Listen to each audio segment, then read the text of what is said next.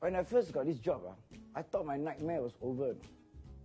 All I wanted ah, was a 9 to 5. And I tell you, brother, I was so happy I got one. But somehow, ah, the past always catches up with you.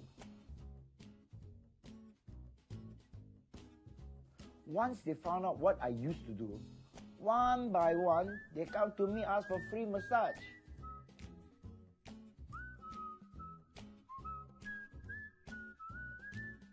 I told them, uh, I don't do that anymore.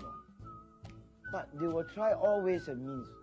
Sometimes they even offer me money. Can you believe them?